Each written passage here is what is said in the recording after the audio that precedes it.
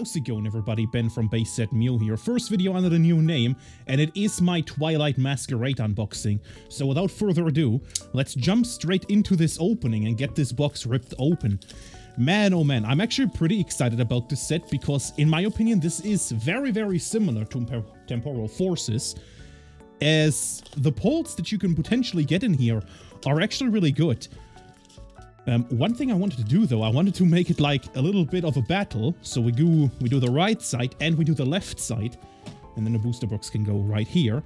And then we're gonna see which side will give us the best pull. But without further ado, let's jump straight into the left side. Lots of packs to unbox as per usual with these big English booster boxes. I don't open in that often. But when I do, I'm still astonished by how many cards are in here. So, we do have quite a bit of time to talk about things, not just this expansion, since we do have 36 booster packs to open. Let's see what we can... Whoa, the Infernape right in the first booster pack. This is a really, really cool illustration rare. Yo, okay. So, out of the illustration rares, I actually haven't looked at them. Okay, so we have the first pull here on this side. Let's see if the right side can put even. So I did actually look at the special illustration rares for this set, but not the art rares or illustration rares.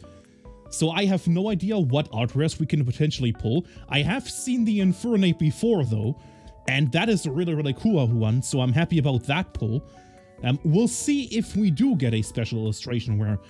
I don't know the pull rates for this set in particular, so I have heard that the pull rates ever since Temporal Forces have gone down. We'll see if that's the case with Twilight Masquerade as well. So far though, out of all the Scarlet and Violet main sets, not the special sets, we don't talk about Paldean Fates, I have pulled a special illustration out of every single one. We'll see if this will be the first set where I don't pull one, or if I continue to pull one. I would like the latter, you know, continuing to pull some special illustration rares.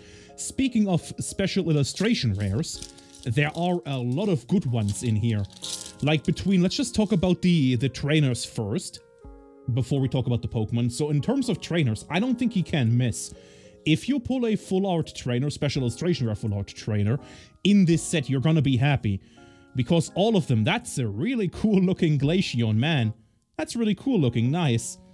So out of the full art trainers, potential special illustrations that you can pull out of this set, every single one would be a hit. Because you have the Kieran, which is really cool. You have the Perrin, which is incredibly cool. That's the one I want to get. And you have the, uh, what we call the Carmine, which is absolutely stunning in my opinion. Really, really love the food as well. And you have Lana, I think out of the, if I had to put them in order from most to least, one that I'd put the, the Carmine on top, then the Perrin, then the Kieran, and then last would be the Lana. Still though, all of them are, are bangers though. And then we have, yo, okay, our first pull, Iron Thorns EX. Very nice. Our first pull on the right side. I hope I'm doing the sides correctly and not just mixing them up. Okay, a quick count may or may not have confirmed that I'm doing it correctly, so let's do the left side next and see if we can we can go even. I don't know how much the Infernape is. Once again, I don't really care about the values of most cards unless I actually have to buy them. Um, but for the sake of this video, you know, just to get a little bit of fun out of these big booster box openings, we're gonna make a kind of quote-unquote pack battle out of it. So we'll see which side will win. Goldeen, and an Infernape, fitting to the art rare or illustration rare. I keep mixing them up, the names. Still don't know which one is which. I think the illustration rare is the English term. Yeah, yeah, it is, it is. And then the art rare is the Japanese term. Wonder why I still use the Japanese term. I haven't opened a Japanese booster box in very, very long. Haven't opened one in very long. Although, no, that's not true. I've opened a, um, whatchamacallit, Shiny Treasure EX box so I was I was a little bit lying there, sorry. Ariados, Swirlix, and a holographic Heatran. Really cool looking Heatran, illustrated by, of course, Mitsu, oh not Mitsuya, um, Akira Egawa, one of my favorite artists. Alright, I have to keep paying attention which side I take the pack from, so I don't lose track of them. There are a lot of packs, so it's easy to lose track. But we shall see what we can find in this one. This one is going to have a special illustration rare, and I can already tell. I can feel it in me bones. Just watch. Just watch. Let's see. Right after this one, right after this one. No, it's just an Enamorus. Hey, it is a pull, though. It is a Dragapult EX. Not too shabby. Very, very nice. That goes on this side. If I do somehow put a, a card on the wrong side, though, I will point it out in editing, probably. So, okay, we already opened that one. See, it's easy to tell because I just got a pull. Let's open this one. All right, so let's talk a bit a bit about the upcoming videos, I suppose. Um, I have planned a few more Japanese, or not Japanese, uh, Chinese openings, and one of which being nice, one of which being the um, the fat boxes for um, Nine Colors Gathering. You know, the Japanese set where I accidentally bought the wrong box. Still pulled the cool Elesa, but the fat boxes um, do contain a promised super rare. So you promised that I'm going to be opening that. And I'm also going to be opening a really, really cool product that I think recently came out for, for the um, Pokemon China TCG. That's a really cool looking Abra. Yo, check this one out. That's really cool illustrated. Nice. Really cool product. And there's also an upcoming, an upcoming, what should we call it? An upcoming set in, in China. Arcanine, which I'm also going to be opening. I'm also going to be opening that one when it becomes available. I think it should be towards the end of, um, what we call towards the end of um, June. I'm really excited about this. I do like um, Chinese cards. I said it so many times before, and I do really, really love them. Let's see what we can find in this booster pack right here, though. English booster pack. Come on. Special illustration rare. I'm praying for just any special illustration rare.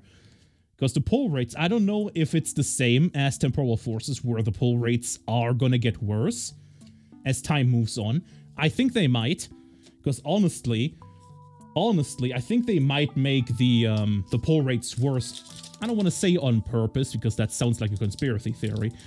But it doesn't make sense. If you look at the pull rates for like Sword and Shield sets, like alternate arts, compared to pull rates like even in Temporal Forces, which so far I think might be the worst Sword and Shield or Scarlet and Violet set in terms of pull rates, although Paldean Fates might be worse. It's still way better than it was during the Sword and Shield era. And you do have multiple spots, so this spot could be a special illustration rare. This one could be one, and I think this could also be one, although I'm not 100% on that one. So you have way more chances to actually pull a special illustration rare in these Scarlet and Violet sets. So maybe that makes it a bit easier. Honestly, though, I do like the, the easier pull rates, that's for sure. That is for sure. Don't want to be spending like a thousand dollars on an alternate art like the um, Umbreon, for example. That's a cool illustration. Man, most of these illustrations are really, really cool. Dang. Got a Hawlucha and an Iron Leaves holographic. So far, the pulls are kind of missing. Are we gonna pull anything? We have pulled four things, two of which are really, really cool. The Iron Thorns and the Infernape. The Infernape probably the highlight for now. We'll see if this will change with this booster pack right here. We got a Timber Aaron. Got a spinnerax and shrew. Lucky Helmet. Mighty Mightyena, that's by Cavallo. Reveroom, Boomerang Energy. Yo, Sunflora! This is also a really, really cool one. Check this one out. Yo, okay. That looks really, really nice. It kind of puts me at ease. I don't know why. Um, I think that came from this site, although if I did it wrong, then editing me is gonna have a field day and call myself all kinds of awful names and things, maybe. Okay. Well, well, well. Let's see. Let's see. So I've opened a pack from this side. I think I have to open two more from this. I think I open more from that side. Um, we'll see if we do pull a special illustration rare. So I think one thing that I haven't talked about yet Maybe I've been trying to avoid it. Um, the name change of the channel. You know, previously Budget Pokemon, now it's Base Set Mew. I kinda wanted a more memorable channel name, if that makes sense. and also a channel name that might help with discovery a bit more than just budget Pokemon. Because whenever I searched my name, or even videos, nothing was coming up. So, well, if you search budget Pokemon, you find like budget decks and budget cards. Uh, videos that I do, videos that I did, none of the videos of me though on the front page. So that's that's like one of the reasons and also, you know, if I do someday, I don't know, if I do someday get a little bit bigger, then the name budget Pokemon might cause some issues, since it does feature the name Pokemon in it itself. So maybe that will cause some troubles legally. Let's open one more from this side, and I think we're even. Let's see what we can pull here. So that was the main reason for the name change. As I said though in the announcement, or as I wrote in written in the announcement, can't speak English apparently, um, the videos will still be the same. I'll still do budget collecting videos since I do love doing those. I do love showing off cards that are actually affordable, you know. Don't want you to spend a thousand dollars on an Umbreon. That's gonna be, that's way too much for an Umbreon. I honestly, I don't know if they're ever gonna reprint Evolving Skies again. They did reprint Evolving Skies a few times, I'm pretty sure. But I think out of all the times that they did reprint it, none of the stock was like... They didn't print enough, I feel like. Like, all the stock that they did print was very quickly sold out. I mean, rightfully so, Evolving Skies is actually a pretty good set if you think about, well, if you think about the potential pulls shouldn't approach a set about the potential pulls, because you're not going to pull anything. You buy an Evolving Skies booster box right now, most likely you're not going to pull anything. So... But in terms of the cards in there itself, though, it is an incredible set. I mean, yeah, the Umbreon, that's the one you really want to pull. But there is tons of other really, really cool cards. Also very affordable cards in terms of alternate arts, like the Golurk, I've mentioned it a couple of times on the channel now. Really, really cool card. Let's see. Here we have another pull. The Cornerstone Mask Ogerpon EX. Very nice. I hope I'm putting this on the right side. If not, once again, editing me is gonna have a field day, and I'll be sure to point it out in editing. Let's open one of these next one of these. I think, once again, nothing is promised in English booster boxes. It's all randomly seeded. But I think generally, like uh, from personal experience and everything, we should expect one more um, illustration rare at the least. And then hopefully a special illustration rare. I pulled out a bunch of cards there. Girder and an Alakazam. Nothing here yet. Maybe it's just me, or maybe it's just me because I haven't opened an English booster box in so long, but for the amount of packs we've opened so far, we've gotten very little hits. Is that just me? Or am I, am I like tripping? Or, I don't know. It just feels like we've hit very, very few actual cards. I think we should still be promised one or two ace spec cards in here as well. I do think this set also features ace spec cards. Let's see. Well, speaking of illustration rare, here is the Probopass. Another really, really cool one in my opinion. Yeah, that looks really, really nice. That looks really nice. Let's see. And a Ting Lu. What? I hope that's the right side. I really, really do. If not, then this was all for nothing. If I put the cards on the wrong side, it was all for nothing. Man, I should really be paying attention, but I'm just so excited to rip this open. Just rip this set open. Let's see. Come on, special illustration rare. Any at this point. I'd even take an Ogerpon. Um, oh, I haven't actually mentioned that. I don't know if I mentioned it or not. Um, the Pokemon special illustration. I think there is the Ace spec card, Legacy Energy.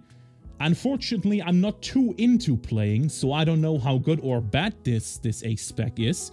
But it is an Ace spec nonetheless. I think that came from this side. And we have the, the Zapdos.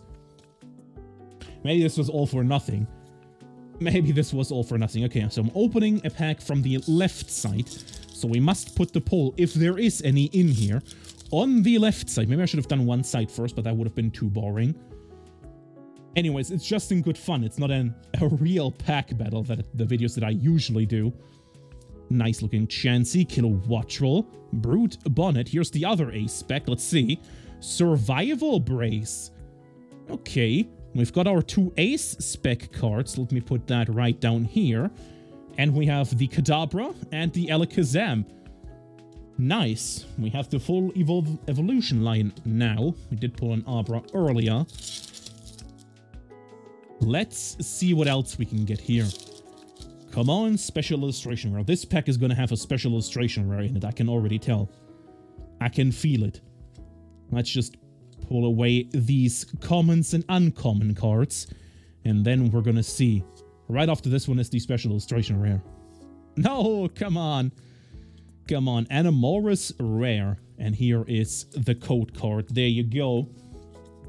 There you go. I've actually been thinking about getting more into into TCG Live, honestly. I do kind of really want to play the game. I don't want to spend cards or I don't want to spend money on a deck and play like in person. There aren't a whole lot of events, um, events around me anyways. So I'd much rather do it on TCG Live. And, well, we'll see if I do do do that. I do want to play play the game more than just collect. Let's see, Jamming Tower. We've got a Litwick. And we've got a Luxray EX. Very, very nice. I mean, at this point, I'm just putting the cards where I think they go. I don't know if it's actually the right spot. I don't know if that's actually the right spot or not. Man, okay. I wonder, I wonder, I'll check it in editing, of course. I wonder if I actually managed to put every single card in the right spot without paying attention, that would be pretty cool, right? That would be pretty cool.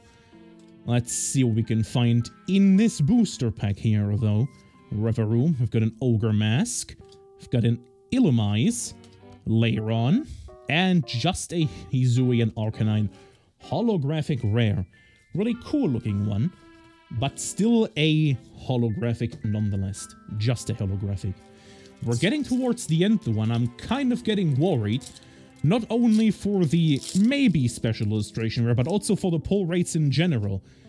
I mean, we did get our three um, illustration rares, we did get our two ace spec cards, but for some reason it still feels like so little pulls. I mean, we still have a few packs left, so maybe there's still something to be had here. Probably a few normal EX cards. That should be almost a given, maybe. We've only gotten four so far. We shall see, we shall see. Alright, let's open up this one. I do believe, though, as I've previously stated, they have reduced the pull rates, or they will reduce the pull rates to... They will continue to reduce the pull rates. There we go, proper English, please. They started with temporal forces and it's only gonna get worse. I think. I hope I'm wrong. Dear God, I hope I'm wrong. Oh, that was two cards there. Not to worry though, there's just a holographic in this booster pack, so it's not like we missed anything in this one. Let's see, so we have five booster packs on this side, oh, and three booster packs on this side, okay. I think the Luxray might actually go in this spot then. We'll see if I did it right, we'll see. We shall see. Righty on. Okay, Snorunt, chilling. Snorunt, chilling, yeah, that fits. Chilling in the snow. Scolipede. We've got a bug catching set, an Aipom. We've got a handheld fan. Girafarig. And we've got a Heart Flame Mask Ogerpon EX. Here we go. That's a pull that I was expecting. Okay, so we did open it on this side. I'm pretty sure we opened it on this side, since we do have a few more packs on here. Right on. Well, now I'm kind of a little bit relieved that we did get another pull right here, one of these. Don't know what that means. We got like two quote-unquote full arts.